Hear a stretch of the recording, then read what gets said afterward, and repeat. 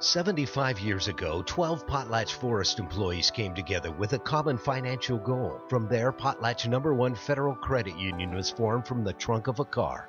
Finally, a member owned financial institution where every member has a voice and every member's dollar matters. No frills, no hidden agenda, no quotas. Those values hold true today, and 75 years later, P1FCU is still your trusted community credit union.